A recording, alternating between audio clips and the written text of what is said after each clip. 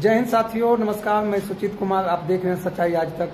इस वक्त हम मौजूद हैं जम्मू जिला शीतला चौक कॉलोनी में और हमारे साथ में जुड़ चुके हैं एक शिक्षक हैं जो बायोलॉजी का शिक्षक हैं। आज हमारे साथ मौजूद हैं। आज जानकारी लेते हैं इनका शिक्षा के बारे में। कहाँ से सर हैं? कब से यहाँ पे शिक्षा दे रहे हैं? कहाँ कहाँ का स्टूडेंट इनके पास आते हैं? सारा जानकारी जो है हम सर के माध्यम से लेने का कोशिश करेंगे।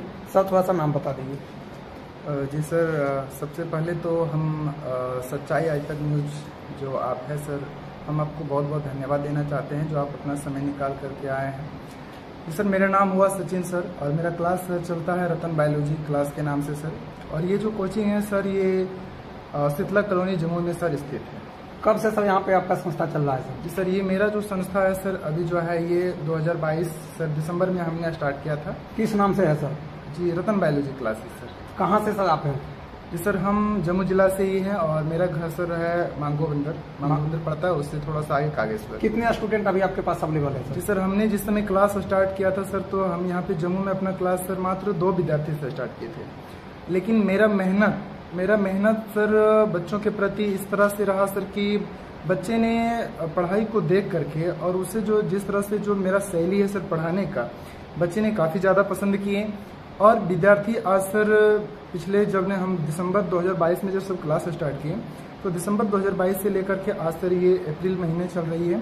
तो इसमें सर अभी तक लगभग लगभग सर 80 से 90 विद्यार्थी सर जुड़ चुका है। सबसे ज़्यादा दूरी का कहाँ का स्टूडेंट है? जी सर यहाँ तो विद्यार्थी सर अलीगंज लखीसराय लछुआड़ और बहुत दूर दूर से सर विद्यार्थी यहाँ पे सर ओनली सर आप बायोलॉजी पढ़ाते हैं? जी सर यहाँ पे जी सर हम स्पेशली सिर्फ़ बायो का ही क्लास लेते हैं सर। कितने नंबर अभी इस बार जो इंटरमीडिएट का जो रिज़ल्ट फाइनल में आपका सबसे ज़्यादा नंबर कौन सा स्टूडेंट लाया सर? जी सर यहाँ का सबसे जो ज़्यादा नंबर लाया है सर हमने विद्यार्थी को ट्वेल्थ जो 2023 में जो विद्यार्थी ने एग्ज़ाम दिया सर इसमें जो है सर धधोर का एक विद्यार्थी है सर गौरव कुमार नाम है उनका।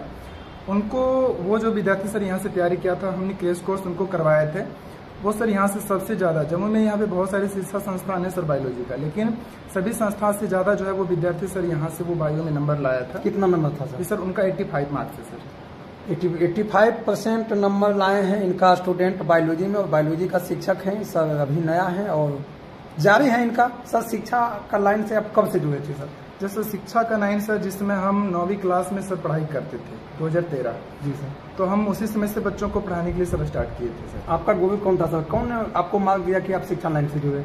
सर वैसे तो कहा जाता है कि सबसे पहला गुरु जो होता है सर माता पिता होते हैं।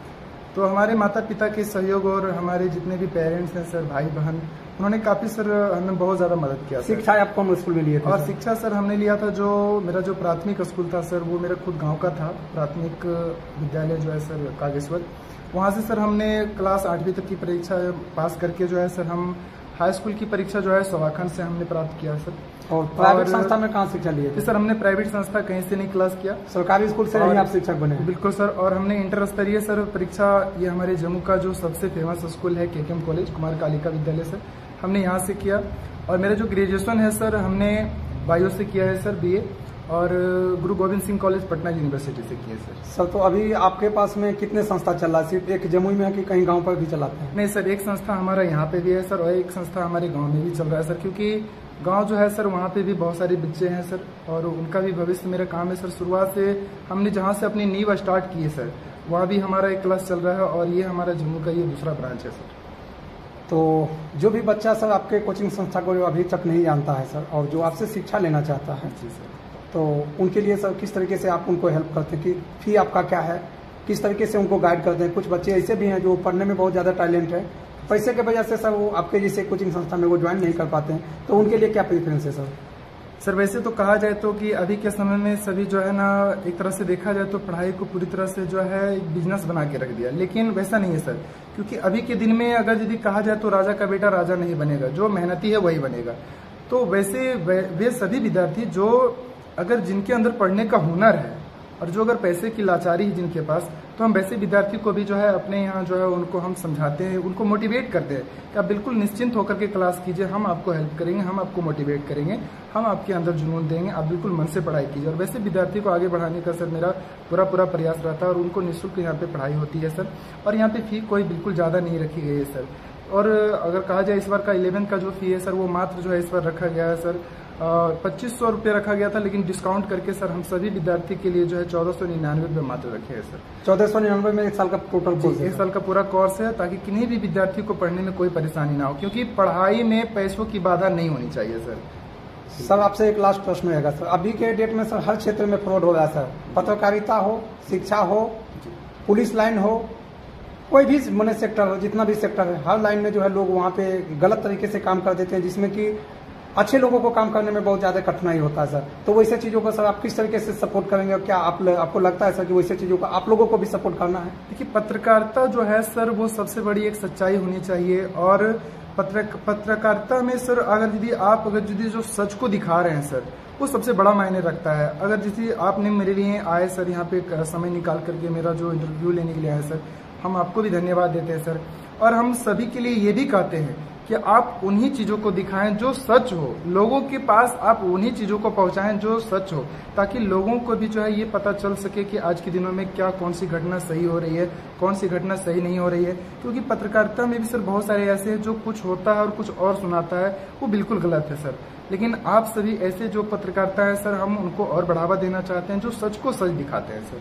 क्या पता है सर कि सर सर आपसे अभी हम कोई जानकारी लिए वो आपके माध्यम से लिए सर। जी अगर कुछ शिक्षक ऐसा भी कहेंगे कि भाई वो गलत आपको बता दें तो वैसे में पत्रकारिता क्या कर सकता है सर? नहीं सर वैसे में तो आप दोनों शिक्षकों को एक साथ बैठा करके इंटरव्यू ले सकते पत्रकार केवल अकेले सच नहीं दिखा सकता है सर। जब तक समाज उनको में सपोर्ट नहीं करेगा सच नहीं बोलेगा सच नहीं देखेगा सर पत्रकार कभी सच नहीं हो सकता अभी हमने सर जितना भी इंटरव्यू दिए सर और हम चाहेंगे कि आप एक बार और आकर के हमारे बच्चों के बीच में इंटरव्यू लें।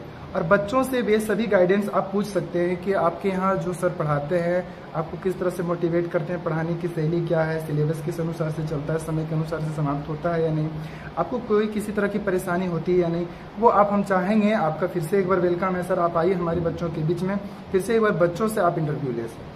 तो साथियों अच्छा लगा सर से मिलके और ऐसे ही सर होना चाहिए जो जम्मू जिला में अच्छा शिक्षा दे रहे हैं और इन ये मीडिया से भागते नहीं है मीडिया को बुलाते हैं और इनका ये कहना है कि आप आइए मेरे बच्चे से भी मिलिए। किस तरीके से हम शिक्षा दे रहे हैं वो तो मेरा बच्चा ही जान, जानते होंगे और बच्चे को ही जानकारी है जिनको हम शिक्षा दे रहे हैं। तो दोबारा हम ज़रूर है सर से मिलेंगे फिर इनके स्टूडेंट से मिलेंगे और इनके बारे में जानकारी लेने का कोशिश करेंगे कि सर अभी जो है नया है जमुई में इनका संस्था नया भी आया है और इस वीडियो के माध्यम से जो भी अगर चाहते हैं कि नहीं सर से भी शिक्षा लें इस वीडियो के माध्यम से सर का भी नंबर दे देंगे। सर से संपर्क करके इनसे भी शिक्षा ले सकते हैं। आगे जो भी होगा अपडेट देने का हम फिर कोशिश करेंगे। मिलते हैं हम नेक्स्ट वीडियो में। जय हिंद, जय भारत।